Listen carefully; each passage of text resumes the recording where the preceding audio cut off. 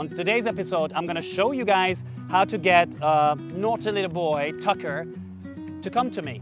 He's been resisting everyone so far, so I'm gonna give it a try. Let's see what I can come up with. Tucker, you ready? Let's go, buddy.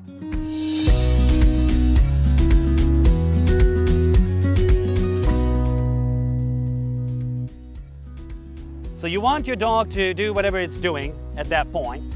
And then when you say the command, right, everybody is expecting the dog to just jump and stop and, you know, out of what it's been doing, stop and come to you. So I say, come, come, come, come.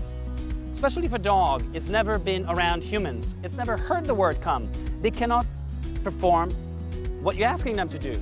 So I'm gonna have to teach Tucker what come really means. I can scream words out, he's still not going to do anything. Come, come, Tucker, come, Tucker, Tucker, come, come, come. So what I'm gonna have to do is, you guys all been out on fishing, right, trips?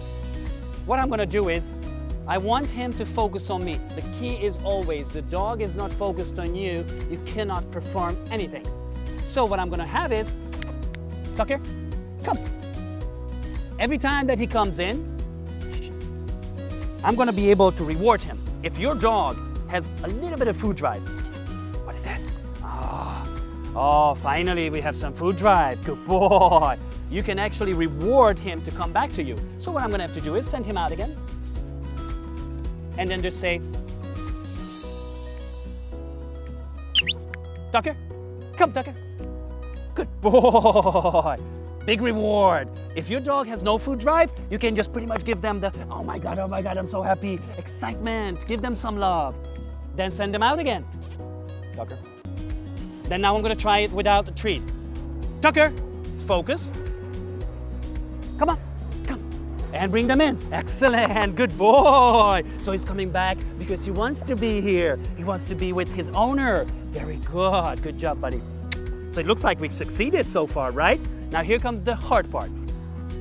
You were able to succeed on a six foot nylon lead, right? Now we're gonna step to the little bit improved, a little bit more heavy stuff in training exercises. You can start adding, come on Bubbles, a rope or a long lead if you have. All you have to do is attach one side, of course, one end of that rope to your lead. You always have to have control over your dog. Even that right now we're out, he couldn't go anywhere pretty much, but safety is always important. Start in your home, in your backyard, then we can go out in the open. Now I can get Tucker to, let's go Tucker, let's go Tucker, let's go. Send him all the way out. And when I say, Tucker, come, come Baba, come buddy, Good job, buddy. Good boy. Very good. First you didn't want to come. Now look at you. Look at you. You're all the way out there and you're coming back here. Good boy. Remember again, consistency is a key. Do it again. Tucker, let's go. Let's go. Let's go. All the way, all the way, all the way. Good job. Tucker, come.